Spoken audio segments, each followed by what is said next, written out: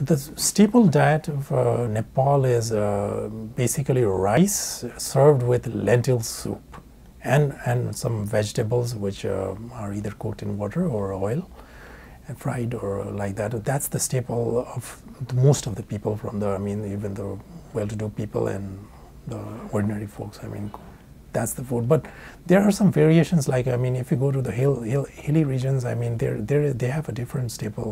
It's a wheat flour, I think, cooked with water, and it's called tinido, and it's something like a a kind of a I mean, I don't know. I couldn't compare that with something like it would look like mashed potatoes or something like that. But that's basically wheat flour and the other cereals, which they that's the that's a staple uh, taken with uh, the lentil soup or other type of soup.